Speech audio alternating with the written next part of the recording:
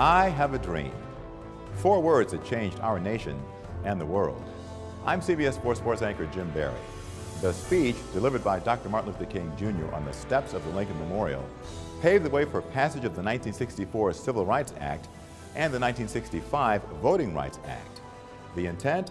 To ensure that all Americans have equal right to life, liberty, and the pursuit of happiness. Learn more about black history.